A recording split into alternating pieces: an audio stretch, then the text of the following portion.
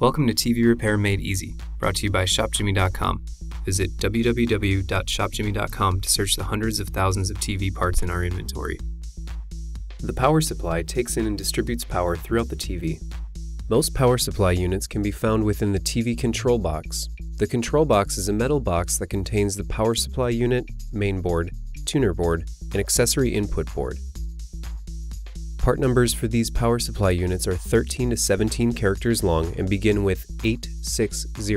Part numbers can be found printed on a label or directly on the board. Please be sure to check for labels on the sides of board components and heat sinks. Search the part number on ShopJimmy.com to find a compatible replacement.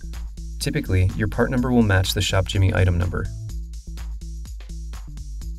Some power supply units are only available by purchasing a new control box. Part numbers for control boxes typically begin with 909 and are printed on a label on the bottom of the control box. Search the part number on ShopJimmy.com to find a compatible replacement. Typically, your part number will match the ShopJimmy item number. If your power supply unit is not found within a control box, search our inventory by using part numbers found on the labels or the board. Please be sure to follow all guidelines provided within the description and notes fields. ShopJimmy suggests matching both the part number used as the ShopJimmy item number along with the TV model number in order to guarantee compatibility. Usually, searchable part numbers begin with 782 or 667.